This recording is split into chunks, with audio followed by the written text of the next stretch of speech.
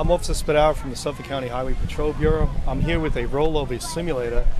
We're here to educate children and their parents on the safety concerns of people wearing seatbelts. I have an adult sized person, a fake one, and a little one. And I'm going to show you only at 25 miles an hour what could happen to you. When a car rolls over, is the windows break. And when you come out of the car and the car's rolling, what's going to follow you? Exactly, good. Now you see how they're moving around already? See what happened to the little one? If they had their seatbelt on, you might get some bruising in your chest or your shoulder because of your in the in the car and you're still going to bounce around. And what happens in the street is just what happened. The person gets ejected from the car and the car rolls over on top of them. You tell the kids just jump in the car, we'll just hurry up. That's where the accident's going to happen. You have to make sure that everybody's buckled in in an approved seat or a booster seat.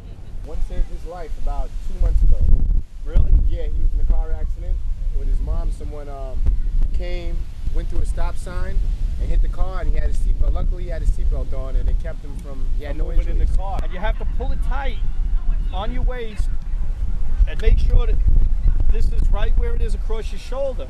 Now, some people say it bothers them sometimes, but they sell things that you can wear so it doesn't rub on your neck. This seatbelt has an extension on it. You could get an extension. Sometimes pregnant women, mothers expecting would wear that. And the, what what I'll see is this. The people that is defeating the purpose of the shoulder harness, and plus it's a violation. People will tell me, officer, I have it on. Improperly wearing the seatbelt is also a violation. And what are you going to get for that? A ticket. so you have to remember, it's very important to wear your seatbelts, okay? Everyone's going to wear them, right? Yes. That's right, good. Everyone that wears them is safe.